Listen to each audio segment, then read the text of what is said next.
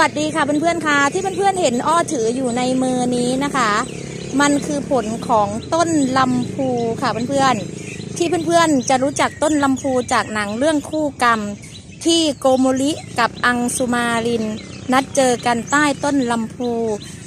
นะคะ แล้วก็หิ่งห้อยจะชอบนะคะ ที่เขาบอกว่า ใต้ลมพูเราคู่กันนี่นะนะจำได้ใช่ไหมอ่าเนี่ยเนี่ยเนี่ยผลของต้นลำพูเป็นแบบนี้นะคะเพื่อน เนี่ยนะคะ กองกันอยู่ที่พื้นนี่คือผลของต้นลำพูนะคะ มาดูลำต้นของต้นลำพูมันจะนิยมชอบขึ้นกันตามริมน้ำนะคะเพื่อนๆนี่นะคะ คือลักษณะต้นของลำพูนะคะ ต้นนี้ก็จะเอียงๆนิดนึงนะคะ นี่คือต้นของลำพู เก็บค่ะเพื่อนๆถ้าเพื่อนๆคนไหนสนใจอยากได้